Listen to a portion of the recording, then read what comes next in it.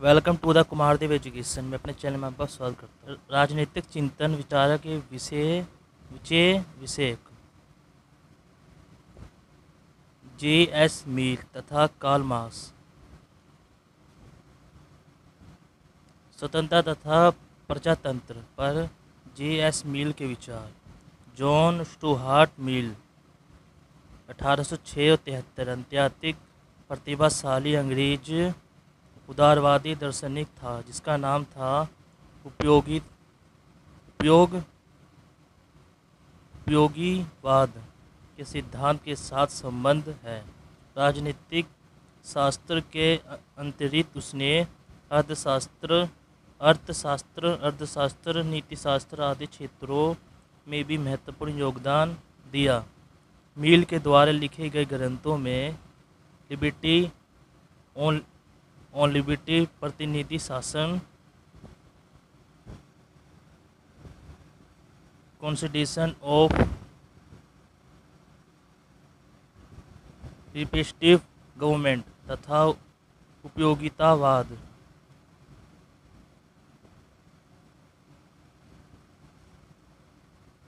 इंटेलिजिज्म विशेष रूप से वर्चित है।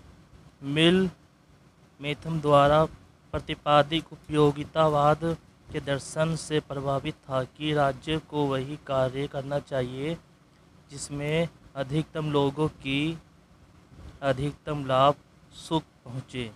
उपयोगितावाद वादी दर्शन वस्तु टॉमस हॉक्स की देन है, जिसे बाद में डेविड हुलूम और फिर जर्मनी बेथम, जेस मिल जे एस मिल के पिता तथा जे एस मिल के विकसित विकसित किया।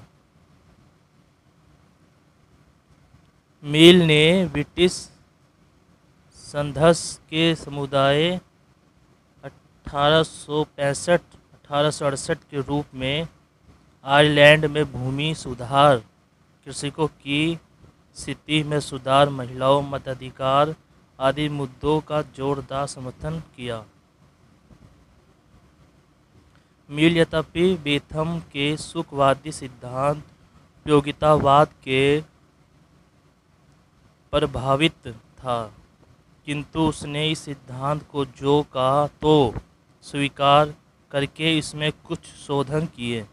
वे बेथम की इस मान्यता को अस्वीकार करता है कि सुखों के मध्य केवल मंत्रनाथ मंत्रनात्मक अंतर होता है। उसे सुखों के गुणात्मक अंतर का पक्ष लेते हुए कहा कि उच्च कोटि का सुख ही मनुष्य का उद्देश्य होना चाहिए। उसके शब्दों में एक असंतुष्ट मनुष्य, एक असंतुष्ट सुअर से अधिक श्रेयस्कर है।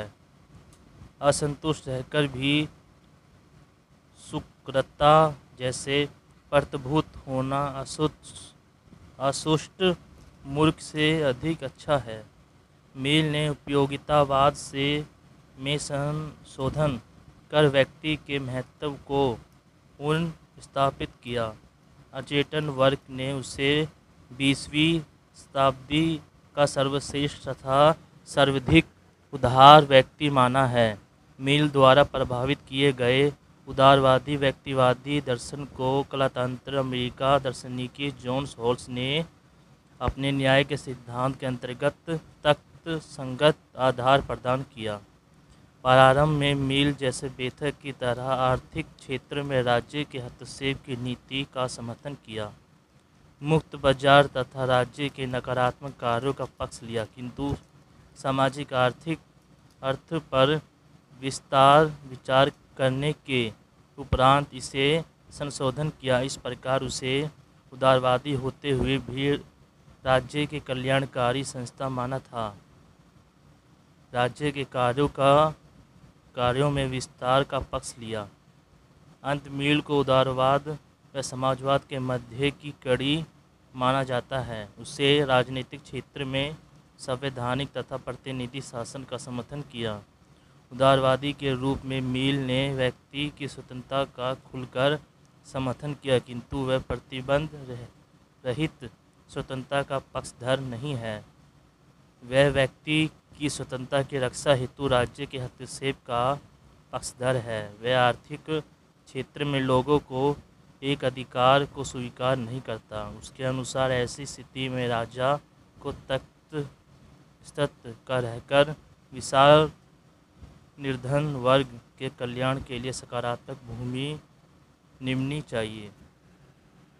स्वतंत्रता की अवधारणा। मील ने अपनी कीर्ति, स्वतंत्रता ऑन लिबर्टी में स्वतंत्रता संबंधी विचार प्रस्तुत किए। मील के समय में राज्य का कार्य क्षेत्र विस्तृत होकर था, चुका था तथा सरकार जनहित के नाम पर व्यक्ति के जीवन के प्रत्येक क्षेत्र में विनियोजित करने वाले कानून बनाने लगी थी। राज्य द्वारा व्यक्ति की स्वतंत्रता में हस्तक्षेप होने से उसे ये भय हो गया कि बहुमत का लोकप्रिय शासन भी कहीं निरकुश शासन की भांति स्वेच्छाचारी ना हो जाए। अंत उसे व्यक्तिगत स्वतंत्रता में राज्य द्वारा हस्तक्षेप का विरोध किया। उसके अनुसार जनता के शासन के नाम पर बहुमत द्वारा अल्पमत पर मनचाहे प्रतिबंध लगाना तथा जनमत के नाम पर अनुसूचित कानून को थोपना सर्वथा अवच्छनीय है। इस प्रकार मील ने मानव स्वतंत्रता के व्यक्तिवादी रूप का प्रतिपादित किया। से वाइन के अनुसार मील का व्यक्तिगत स्वतंत्रता का समर्थन उपयोगितावादी समर्थन से कुछ अधिक है। मील ने व्यक्ति की स्वतंत्रता में राजनीतिक हस्तक्षेप की तरह अवंच निये सामाजिक हस्तक्षेप का भी विरोध किया। सामाजिक निरकुशता कई बार राजनीतिक उत्पीड़न से अधिक दुखदायी होती है। समाज का रूढ़िवादी व्यवहार व्यक्ति की स्वतंत्रता में बाधा डाल सकता है। जब भी कुछ लोग अपना जीवन गैर परंपरावाद तरीक़ों से जीना चाहते हैं, तब उन्हें सामाजिक विरोध व आलोचना का सम्मान करना पड़ता है। अंत, स्वतंत्रता विचारों में उनकी अभिव्यक्ति में आने वाली बाधाओं को हटाना आवश्यक है। इस प्रकार स्वतंत्रता को प्रचलित विचारकों व परंपराओं से भी सुरक्षा मिली है। ए. डी. लिंड से के शब्दों में मिल के अनुसार व्यक्ति अपने शरीर तथा मानसिक का स्वामी है। अंत उसे अपने संबंध में पूर्ण स्वतंत्रता होनी चाहिए। इस क्षेत्र में समाज व राज्य को व्यक्ति के आचरण पर कोई प्रतिबंध नहीं लगाना चाहिए। इस पर इस प्रकार मील की स्वतंत्रता का एक ही लक्ष्य है, व्यक्ति के आत्मा विकास का लक्ष्य। व्यक्ति अपने व्यक्ति तत्व का विकास करने हेतु स्वतंत्र है, परंतु मील यह भी स्वीकार करता है कि मानव जाति किसी भी संकट की स्वतंत्रता में केवल एक ही आधार पर हस्तक्षेप कर सकती है और वह है आत्मरक्षा। व्यक्ति को अपनी इच्छा अनुसार अपने हित की पूर्ति करने की छूट है, पर सत्य वह दूसरों की इन्हीं हितों की पूर्ति में बाधा ना डाले। व्यक्ति पर राज्य शक्ति का न्याय संगत प्रयोग केवल उसे दूसरे को हानि पहुँचाने से रोकने के लिए ही किया जाना चाहिए। स्वतंत्रता के प्रकार, मील के अनुसार स्वतंत्रता तीन प्रकार की होती है।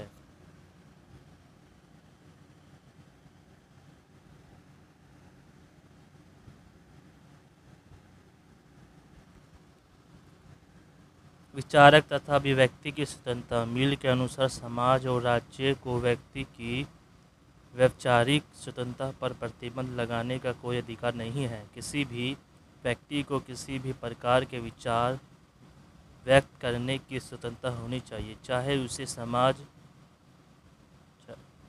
चाहे उसे विचार समाज में रहने वाले बहुसंख्यक लोगों की विचारधारा के अनुकूल हो या प्रतिकूल, किसी भी मत का दमन करना स्वथा अनुचित है। चाहे वह सत्य हो, मिथ्या हो या आंशिक रूप से सत्य हो परस्पर विरोधी मतों के टकराव के बिना सत्य तथा मिथ्या की परख संभव नहीं है। कोई बात इसलिए सत्य नहीं होती कि अधिकांश लोग उसे सत्य मानते हैं और ना और ना, कोई बात इसलिए मथ्या है कि बहुत कम लोग उसे मानते हैं। अर्थ सर्वप्रथम प्रत्येक व्यक्ति को मत प्रकट करने का अवसर मिलना चाहिए। अभिव्यक्ति के बिना वास्तविक सत्य का पता लगाना कठिन है। कठिन होगा। मील का मत था कि यदि एक व्यक्ति के अंतरित संपूर्ण मानव जाति एक मत हो जाए तो भी मानव जाति के उस व्यक्ति के विचार के दमन का अधिकार नहीं। जिस पर, जिस प्रकार से यदि यह व्यक्ति सर्वशक्ति संपन्न होता तो उसे सर्वगत मानव जाति के दमन का अधिकार नहीं होता। सच्चे ज्ञान की पुष्टि तथा विस्तार के लिए सभी प्रकार के विचारकों की चर्चा, परिचर्चा तथा वाद विवाद की कसौटी पर परखना अवश्य है। सत्य तथा किसी विचारक के दमन से सामाजिक प्रगति अवरुद्धि हो जाती है। अपनी अभिरुचियाँ विकसित करने वह अपनी रुचियों के अनुसार कार्य करने की स्वतंत्रता मिल के अनुसार प्रत्येक व्यक्ति को अपनी रुचि के कार्य करने की स्वतंत्रता होनी चाहिए। मानव जीवन के दो पहलू हैं। इसी के अनुरूप व्यक्ति के कार्यों को भी दो भागों में बांटा जा सकता है। स्वर संबंधी पर संबंधी स्वर संबंधी कार्य केवल कर्ता से संबंधित है। इसे अन्य व्यक्ति पर प्रभावित नहीं होते। व्यक्ति को ऐसे कार्य को करने की पूर्ण स्वतंत्रता होनी चाहिए, जैसे अपनी इच्छा का भोजन करना, वस्त्र पहनना, धूम्रपान करना, बंद कमरे में मिद्रापान करना आदि। व्यक्तिगत कार्यों की स्वतंत्रता का अभाव समाज के प्रगति हेतु खतरा बन जाता है। सर्व संबंधी कार्य को करने के लिए समाज द्वारा व्यक्ति को अकेले छोड़ देना चाहिए। इन कार्यों में राज्य हस्तक्षेप नहीं होना चाहिए। पर संबंधी कार्य वह है जिसका समाज के अन्य व्यक्तियों पर प्रभाव पड़ता है। ऐसे कार्यों में राज्य हस्तक्षेप कर सकता है। क्योंकि यद्यपि व्यक्ति की स्वतंत्रता आवश्यक है, किंतु उसके द्वारा दूसरों की स्वतंत्रता में बाधा डालना अनुचित है। यदि व्यक्ति समाज में अभद्र व्यवहार करे या अनैतिकता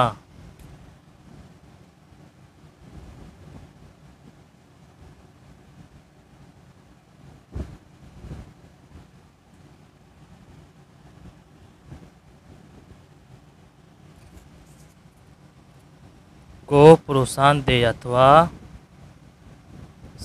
सामाजिक शक्ति को भंग करे तो राज्य द्वारा उसके कार्य में हस्तक्षेप उचित है। उसके अंतरित अपना पूर्ण हित करने वाले व्यक्तिगत कार्य भी राज्य द्वारा प्रतिबंधित हो सकते हैं, जैसे आत्महत्या का कार्य।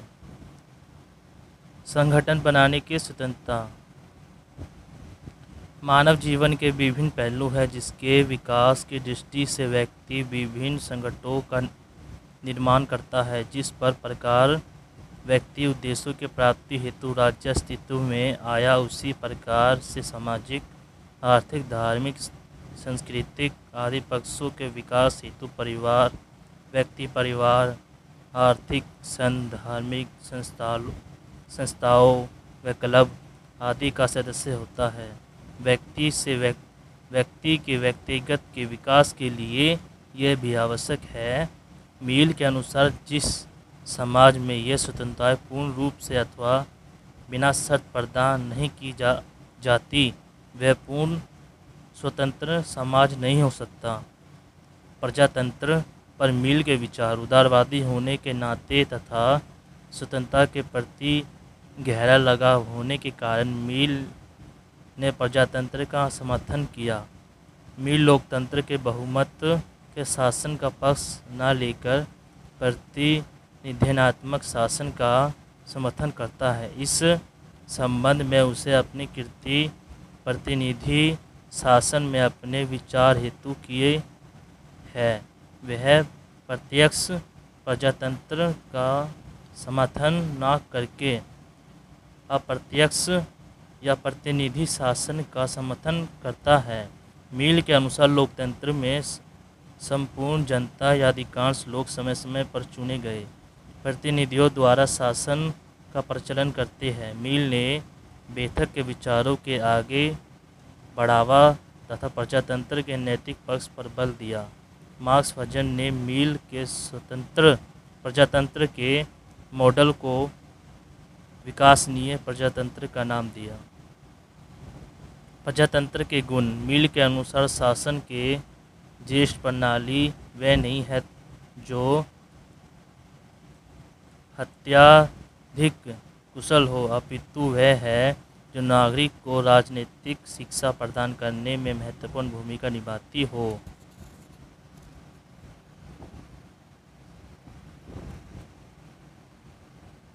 तथा सर्वधारण को नागरिक अधिकारों तथा कर्तव्यों का बोध कराती हो।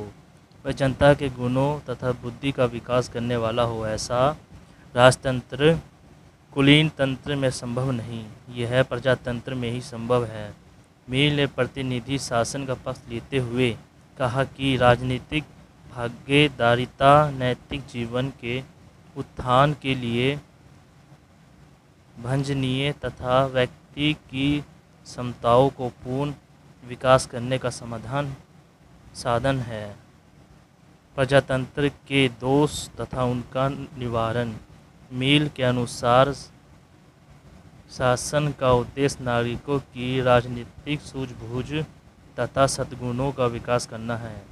अपितु प्रजातंत्र में उत्पन्न दोषों के कारण कई बार ये संभव नहीं हो पाता। इस संबंध में उसे सच्चे तथा झूठे प्रजातंत्रों में अंतर करते हुए बताया है कि प्रजातंत्र का आधार केवल संख्या नहीं, यह दृष्टिकोण कि प्रत्येक व्यक्ति एक है। ऐसा किसी भी व्यक्ति का महत्व एक से अधिक नहीं है, अनुसूचित है। समाज में प्रत्येक व्यक्ति दूसरे व्यक्ति के सामने नहीं है, बल्कि बुद्धि, विवेक व गुणों के आधार पर व्यक्ति में अंतर है। सच्चा प्रजातंत्र समाज में विभिन्नता को स्वीकार करता है और उसे महत्व देता है। फिर मील के अनुसार एक अच्छी तथा कुशल सरकार को इस बात का पूर्ण प्रयास करना चाहिए कि समाज जीवन में संचालन पर उसके सर्वाधिक बुद्धिमान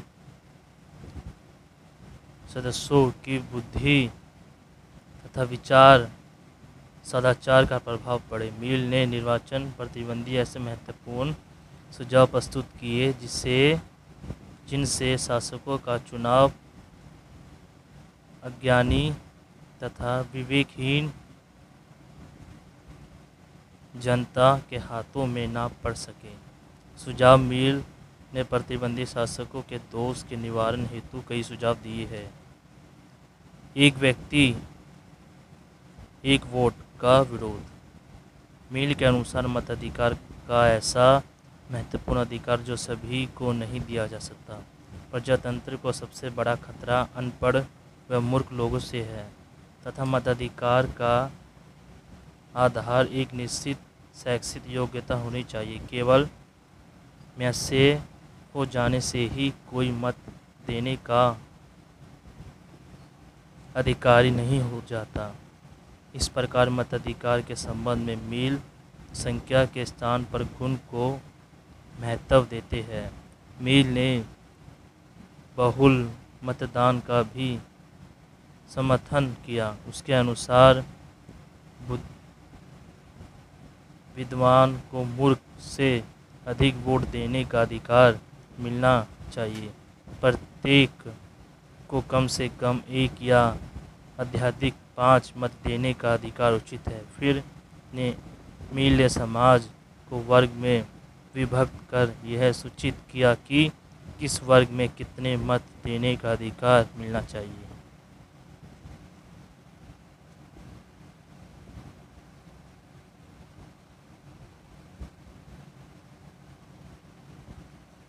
अनुपादित प्रतिनिधित्व तो मील ने लोकतांत्रिक देशों में प्रचलित समस्या बहुमत प्रणाली का विरोध किया है।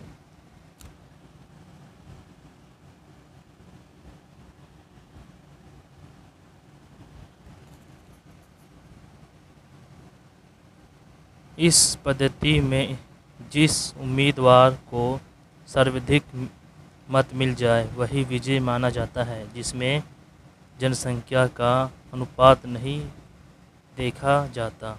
मील ने इस प्रवृत्ति को अलोकतांत्रिक बताया है। इसे टॉमस हेलर द्वारा प्रस्तावित अनुपादित प्रतिनिधित्व प्रणाली का पाधन किया है।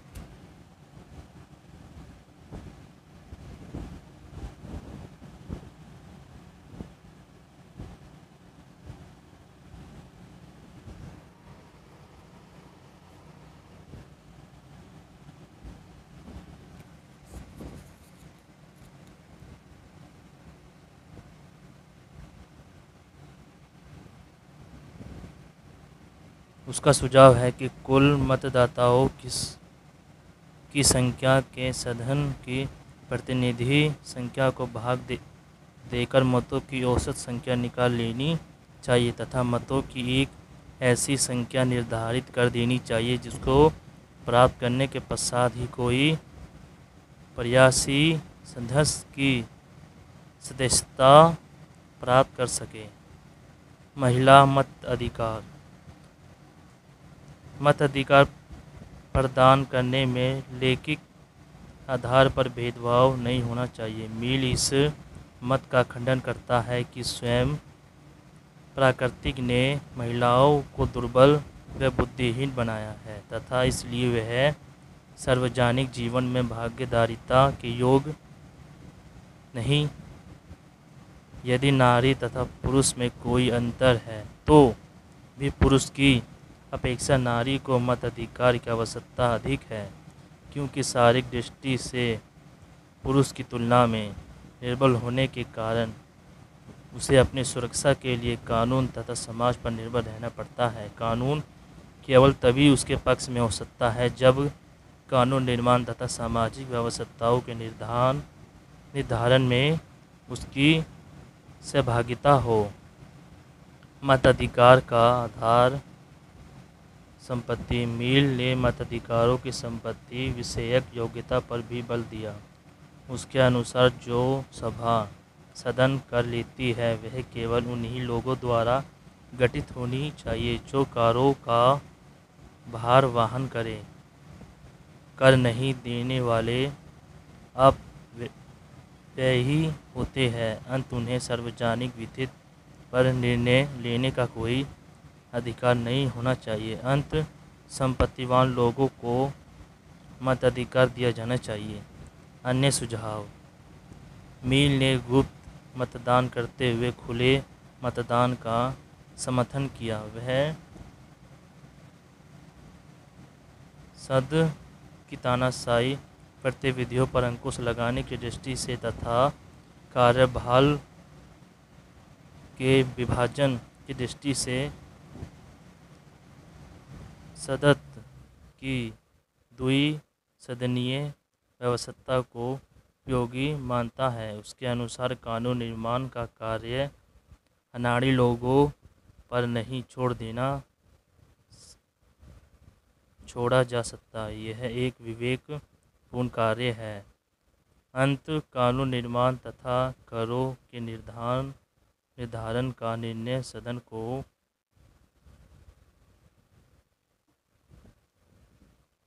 विषयों पर छोड़ देना चाहिए। सदन का कार्य इन प्रस्तावों पर अपनी सहमति देना, उसे रद्द करना होना चाहिए। उसका प्रमुख कार्य वाद विवाद होना चाहिए। उसका कार्य सरकार पर नियंत्रित निंदा व अविश्वास प्रस्ताव तथा आम जनता की शिकायतों को सरकार को पहुंचाना है। वह सदन सदस्यों को वेतन दिए जाने का विद्रोही है। वह स्थानीय स्वमासी संस्थाओं के विस्तार पर बल देता है तथा प्रतिनिधि सरकार से ही प्रचलन हेतु सख्त विरोधी दल का होना आवश्यक बताया है। मिल बेथक के वक्षेत्र वसिक मताधिकार पर शासन पर प्रत्येक जनवादी नियंत्रण तथा सदन के वार्षिक चुनाव जैसे सुधारों का पक्षधर नहीं है। मूल्यांकन मील के स्वतंत्रता संबंधी विचार प्रति व्यक्तिवाद का मूल दर्शन है, किंतु कई अधिकार पर उसकी आलोचना की गई है। अकेस्ट वर्ग ने उसे खोखली स्वतंत्रता का मसीहा बताया है। मील ने स्वयं संबंधी वह पर संबंधी कार्यों में जो अंतर सुझाया है, वह अवैज्ञानिक है। ग्रीक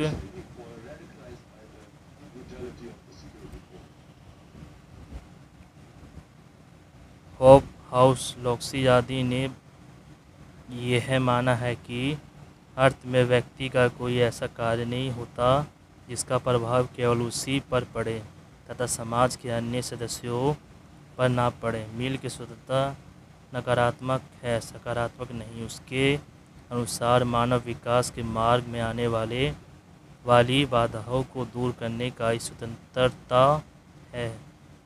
वह स्वतंत्रता के कार्य क्षेत्र को सीमित रखने के पक्ष में है, किंतु मील का सिद्धांत इस रूप से महत्वपूर्ण है कि वह ऐसे क्षेत्रों की ओर भी संकेत करता है, जहाँ राज्य तक स्तर का रहकर समाज के हित में सकारात्मक राज्य की भूमिका निभानी चाहिए। मैक्सी ने माना है कि मील के स्वतंत्रता संबंधी अध्याय का राजनीतिक सत्य में ज्येष्ठ स्थान है। मील के स्वतंत्रता के दर्शन का व्यक्तिवाद के विकास तथा उसकी उन्नति में गहरा योगदान है। मील ने प्रजातंत्र के नैतिक पक्ष पर अधिक बल दिया। तथापि मील द्वारा सुलझाए गए महिला मताधिकार तथा मताधिकार हेतु शैक्षित योग्यता आदि प्रशासक प्रशासनीय है, किंतु वह अनुभव जे योग्यता को महत्व नहीं देता। मील द्वारा प्रस्तावित अनुपादिक प्रतिनिधित्व प्रणाली तभी लोकतंत्र के अधिक अनुकूल है, किंतु यह जटिल है जटिल है और साधारण जनता की समझ से ऊपर है। मील की बहुल मतदान की प्रणाली भी अव्यवहारिक है, क्योंकि यह तय करना कठिन है कि उसे, कि किसे कितने मत देने का अधिकार दिया जाए। फिर भी मील ने प्रजातंत्र का सिद्धांत जन साधारण की राजनीतिक व सामाजिक सहभागिता का पक्षधर है। वह प्रतिनिधित्व शासन की अनेक त्रुटियों को दूर करना चाहता है तथा शासन अधिकार केवल योग्य व्यक्तियों को देने का समर्थन करता है। दोस्तों, ये वीडियो ख़त्म हुआ है, इसका पार्ट तो बहुत जल्दी आएगा। वीडियो अच्छी लगती तो वीडियो को लाइक करें, चैनल को सब्सक्राइब करें। थैंक यू दोस्तों।